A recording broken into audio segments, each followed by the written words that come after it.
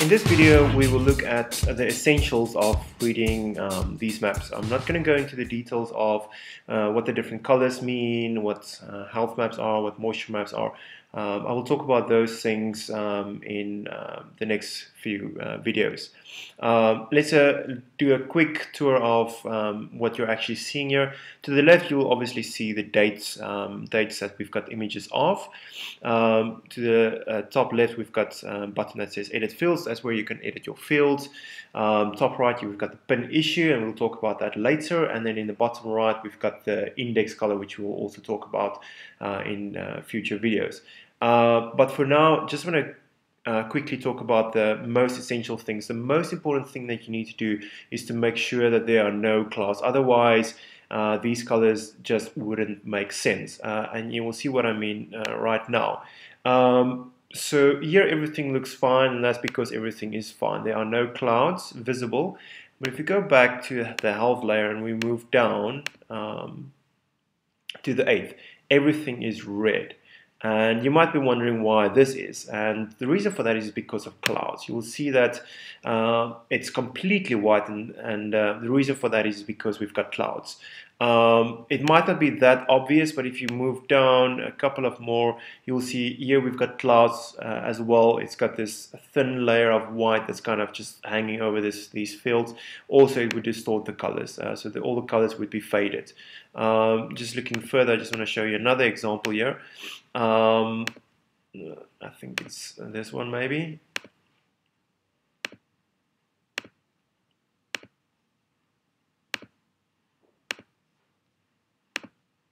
Okay, so here's an example of uh, partial um, cloud cover.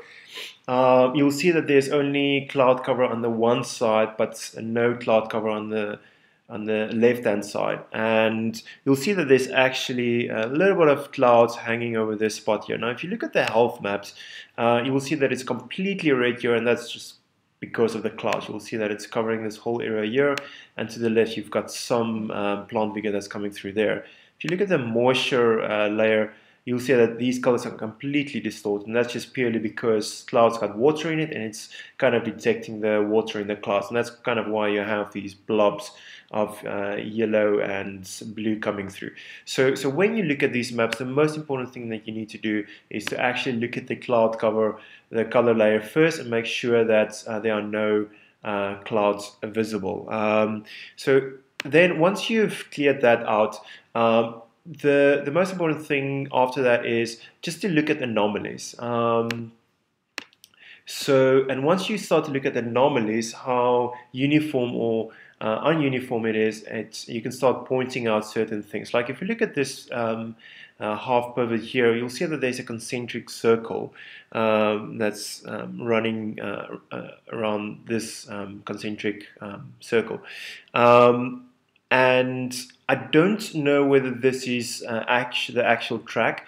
Uh, I don't think so. It might be partially that. Um, uh, but if I look at these, uh, this section there and this section there, it seems like uh, it's something else. Also, if you look um, to previous uh, dates, it's actually not there. Um, obviously, there the plants is, are still small. There we've got that concentric circle still. Now it's actually even more prominent.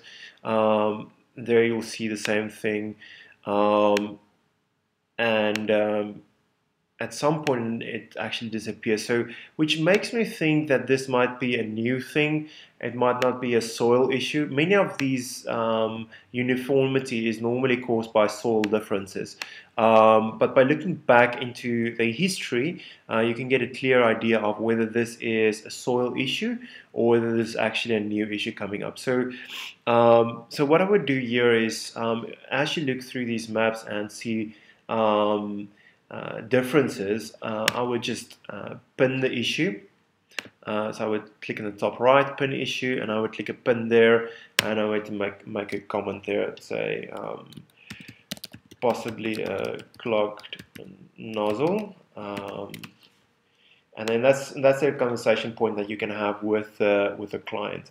And I will continue to do that with all of these um, um, different maps. Um, so the thing is uh, that um, you normally won't know what the issue is un unless you've got um, enough context here. So I would normally just ask the client like, okay, what's happening here? So I should actually say here, possibly a clogged nozzle or or do you know what's happening here?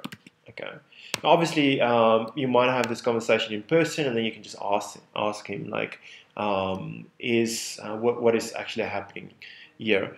Um, so if he doesn't know what uh, the problem is, um, if it's a surprise to him, a great way to actually go and inspect that is to open up this um, link on your phone, um, click on this pin or tap on this pin, and then you will see to the bottom left um, there's a button that says guide me here and that, that would open up Google Maps I'm going to just quickly display that to you um, you see the pin would come up and you'll be able to actually get directions um, to that uh, specific point um, and it normally just works best if you're on your phone because obviously you don't want to walk around with your computer in the field.